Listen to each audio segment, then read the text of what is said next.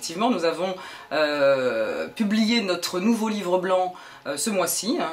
Nous l'avons présenté donc euh, effectivement en première intention la semaine dernière. Il est actuellement en cours d'acheminement tant vers nos adhérents que vers les professionnels du secteur et nous l'avons présenté officiellement à la ministre mercredi dernier lors d'un premier entretien de présentation avec Madame Rossignol.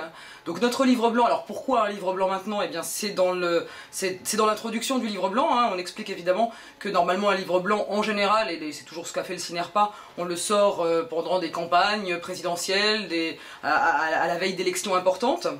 Et il nous est apparu important, euh, parce que notre dernier livre blanc datait justement de la période 2012, avant les élections 2012, euh, et le travail effectué euh, tant par Michel Delaunay que par l'ensemble des professionnels qui ont participé aux concertations et tout au long des deux dernières années, on voit bien qu'il y a un nouvel éclairage de notre secteur, grâce tant au projet de loi qu'au travail de Madame Delaunay qu'à l'ouverture de la filière Silver Economy. Donc il y a tout un, un faisceau d'événements qui ont fait qu'on s'est rendu compte que notre livre blanc de 2012 ne correspondait plus presque plus du tout euh, au message qu'on avait envie de porter aujourd'hui et qu'il nous semblait important de devoir porter aujourd'hui. Et donc le premier message de notre livre blanc, c'est euh, justement presque une nouvelle donne sectorielle, qui est que si pendant des années nous avons tous travaillé en tuyaux d'orgue dans nos paroisses respectives, le domicile parlant au domicile, les résidences-services étant assez peu d'ailleurs représentés, les logements foyers parlant au logement foyer et les EHPAD parlant aux EHPAD, euh, on sent bien en ce moment euh, que de la part de l'ensemble des professionnels de tous les acteurs du secteur, il y a une vraie volonté de décloisonnement et de euh, maintenant avoir un éclairage parcours tant résidentiel que parcours de soins de la personne âgée. Et donc à ce titre, euh, l'important aujourd'hui à notre sens, c'est vraiment de créer cette filière.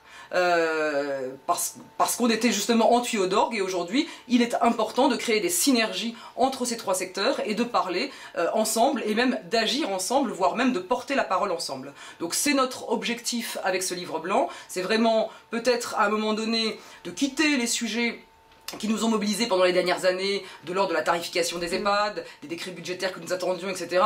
Aujourd'hui, ce qu'on a envie de porter comme message, c'est vraiment euh, regardons plus haut, regardons le parcours, la filière, ses opportunités d'emploi, parce qu'évidemment, si les EHPAD recrutent, évidemment le domicile recrute, les résidences services seniors recrutent. Donc on a vraiment là euh, un axe emploi et formation très important sur ces trois secteurs. Euh, que l'on mutualise nos connaissances et nos compétences euh, également pour mettre en avant la création de valeur que ces trois secteurs sont euh, susceptibles d'apporter à notre pays dans les 20 prochaines années, euh, avec évidemment le vieillissement de la population. On a un projet de loi volet 1 dont on est à peu près sûr qu'il sera présenté maintenant au Conseil des ministres fin, avant fin juin dont on espère qu'il sera effectivement euh, débattu au Parlement dans un délai raisonnable, comme l'a indiqué euh, Laurence Rossignol mardi dernier. Mais qui dit quand même pas grand-chose, il dit pas grand-chose quand même, euh, ce, projet de loi pour le moment. Il pose vraiment les bases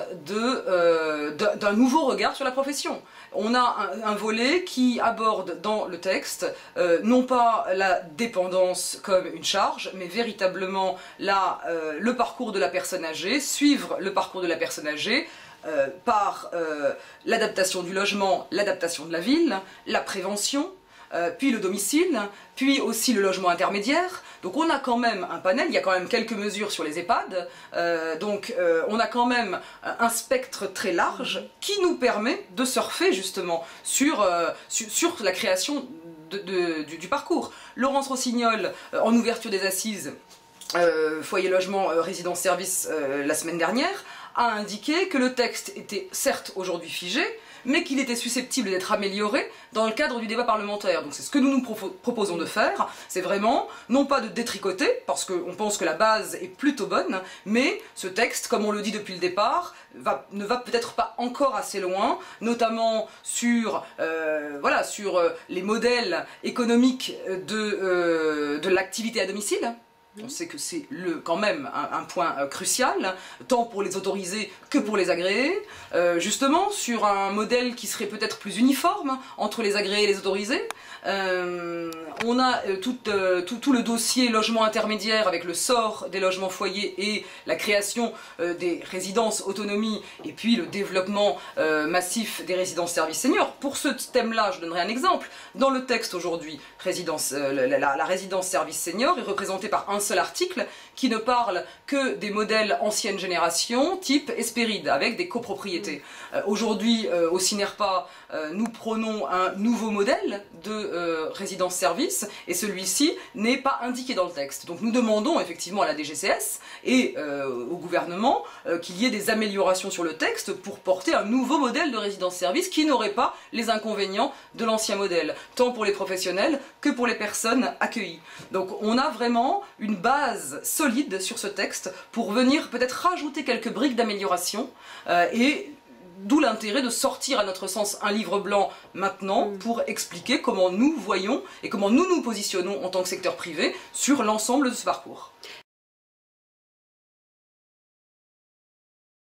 Pour un premier entretien, c'était un très bon entretien. Nous nous sommes d'abord présentés, hein, tant pour elle que pour nous.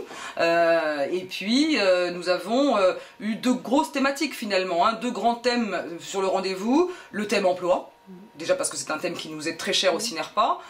nous organisons de plus en plus de forums emploi et, ça nous permet vraiment de communiquer très positivement et de recruter et de faire connaître nos métiers et nos formations donc on a euh, parlé de la problématique emploi, elle a été euh, très à l'écoute de cette problématique euh, et s'est engagée auprès de nous à se rapprocher du ministère du Travail pour essayer de monter des actions concrètes pour mieux informer les jeunes et les moins jeunes sur ces métiers-là.